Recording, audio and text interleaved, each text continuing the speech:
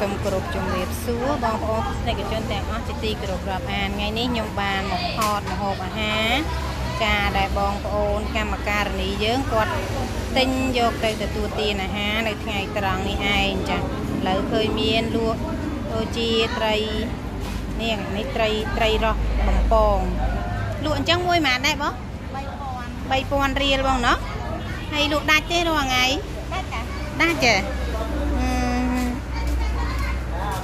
ដោយសារតែយើងលក់នៅមុខរោងចក្របងដែរមិនលក់ដាច់តែនៅទៅដាច់អញ្ចឹងហ៎អូហើយអានេះគេហៅត្រីប្រភេទអីគេបងអាហ្នឹងត្រីដែងប្រឡាក់ត្រីដែងប្រឡាក់ណោះចាចាហើយលក់មួយប្រហែលដែរទៅ3000 3000រៀលដែរ3000 2000ចាតាមតូចតាមធំហ្មងណោះហើយមានលក់បាយទៀតហើយបាយមកកញ្ចប់អញ្ចឹងថ្លៃប្រហែលបាយ500 500រៀលណាហើយមាន លក់ដូចជាអានេះស្ពៃជ្រក់ស្ពៃជ្រក់ស្ពៃអញ្ចឹងលក់តម្លៃប្រហែលទៅអានេះស្ពៃដល់គេទិញ1000ហើយ500អូណោះបានដូចគ្នាអានេះគឺម៉ាំលហុងហ្នឹងហើយយើងញ៉ាំវាជាមួយហ្នឹងហើយហើយនេះគឺប្រភេទម៉ាំលហុង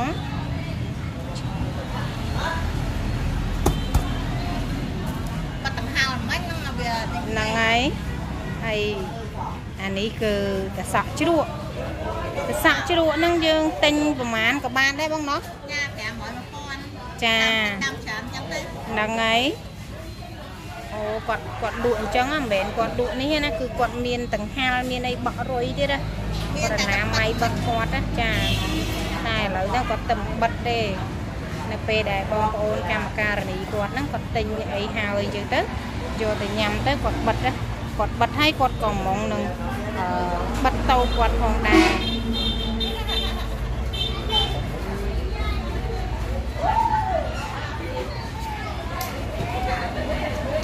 អរគុណច្រើនបងចាចាអានេះគឺសឡំជូតកួនជាមួយកពឹសហើយនឹងត្រីទូចទូចបាយត្រីងៀត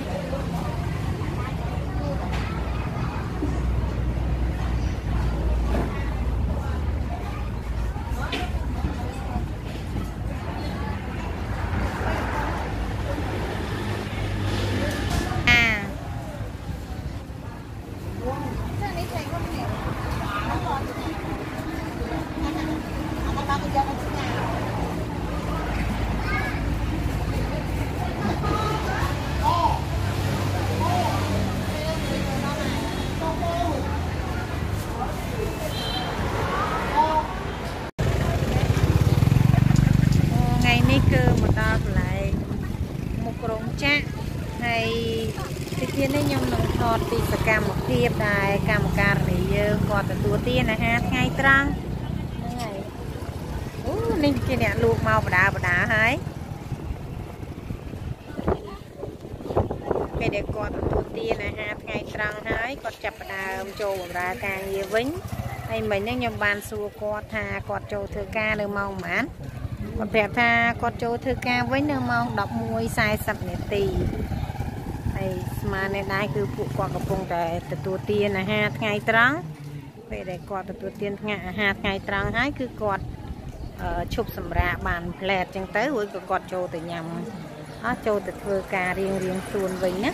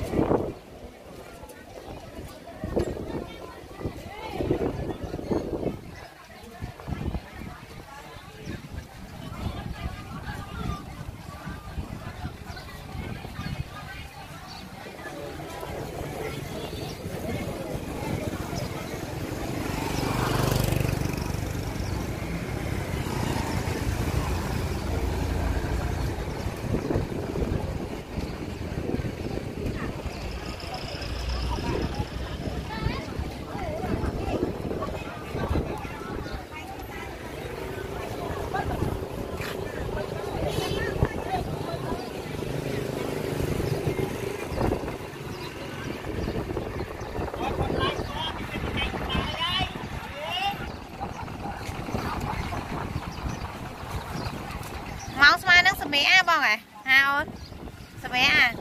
ហើយទិញម្នាស់ក្នុងណាដែរម្នាស់ទិញបានល្អទៀតណាអញ្ចឹងហើយញ៉ាំបាយហើយនៅហើយហ៎បាយយកមកពីផ្ទះឬក៏ទិញនៅនឹងអញ្ចឹងហ៎ហើយចូលធ្វើការឥឡូវវិញមែនទេអញ្ចឹង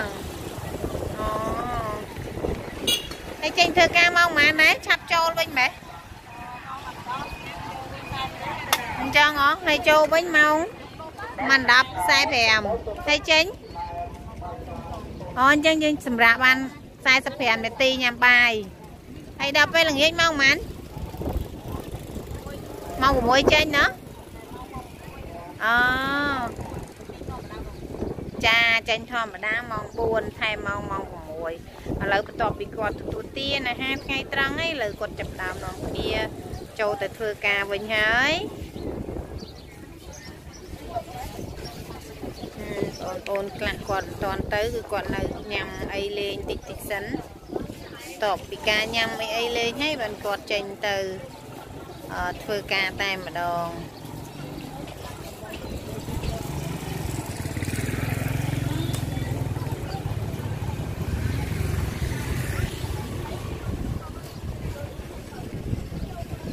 ហងចាក់អូនធ្វើការឈ្មោះអីដែរបើហងចាក់អូនធ្វើការឈ្មោះអីដែរ អត់ដឹងឈ្មោះអីចឹងហើយចុះប្រធានមាននិយាយថាឈ្មោះអីឈ្មោះអីហ៎អញ្ចឹងអូភាសាអង់គ្លេសគាត់អត់សូវចាំហើយបានអីអង្គុយញ៉ាំជុំគ្នាសบายណាចាប្រហិតទេអូពេលម៉ោងសម្រាប់អញ្ចឹងញ៉ាំជុំគ្នាអញ្ចឹងសบายយ៉ាងដែរ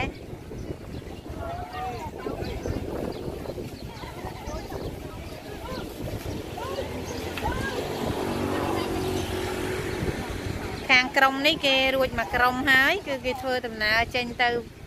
អាធ្វើការហើយឥឡូវដល់ម៉ោងណាងើបរៀងរៀងខ្លួនណាណាអូល្អមួយយ៉ាងហ្នឹងហើយមានការងារធ្វើខ្លួនឯងគឺថាពិសេសមែនតែនហើយក៏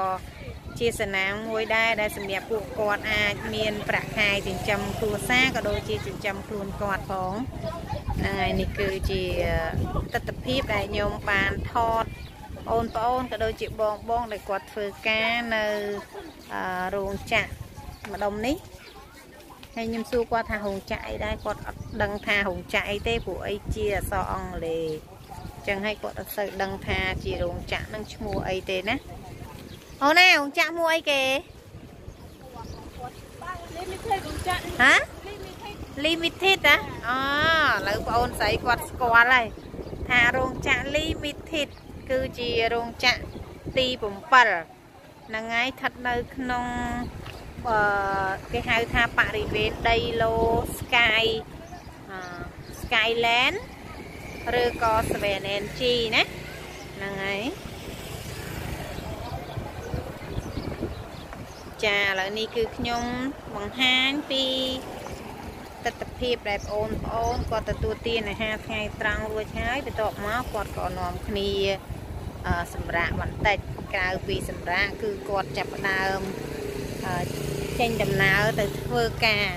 ហ្នឹងហើយចូលធ្វើការរៀងរៀងខ្លួនហើយអឺទៅកាន់ហ្នឹងហើយម៉ាស៊ីនឬក៏ទីកន្លែងដែលគាត់ធ្វើការហ្នឹងរៀងរៀងខ្លួនតែម្ដងហើយនៅទីនេះគឺគេមានលក់ ស្លៀកបំពាក់អីអីចឹង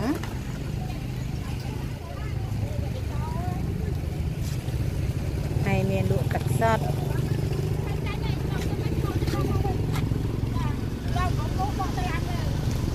ឡើងលើឲ្យបត់ស្ដាំឡើងលើឡើងលើឲ្យបត់ស្ដាំបត់ស្ដាំឲ្យបត់ឆ្វេងលក់អីខ្លះបងលក់តែគ្រឿងកំប៉ុងប៉ុណ្ណឹងណាអត់លក់ទាំងពៅទាំងអីទេណាចា អអត់មានលុយទិញសັບមុខនេះស្រោមជើងខោអាវ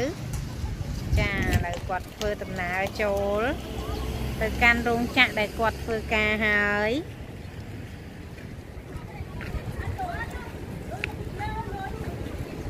ហ្នឹងហើយថ្ងៃការងារគឺជាការងារដែលយើងគ្រប់ពេលវេលាក៏ដូចជា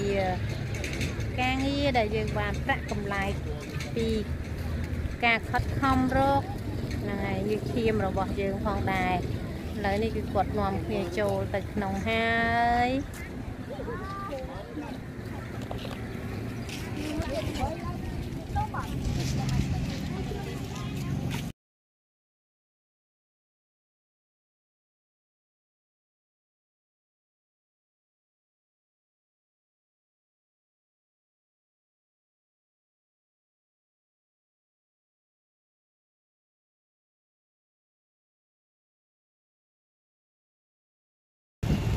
ឥឡូវគាត់កំពុងតែធ្វើដំណើរចូលរោងចក្ររបស់គាត់ហើយរោងចក្រដែលមានឈ្មោះថា New Essence International Garment Limited ចានេះគឺជារោងចក្រមួយនេះឥឡូវឃើញថាការបង្ហាញវីដេអូរបស់ខ្ញុំគឺថារួចរាល់ហើយចាក៏សូមគោរពលំអរកាយជម្រាបលាបងប្អូនតែត្រឹមនេះ ហើយសន្យាជួបបងប្អូនវិញនៅវីដេអូថ្មីៗបន្តបន្តទៀតសូមអរគុណសូមជម្រាបលាបាយបាយ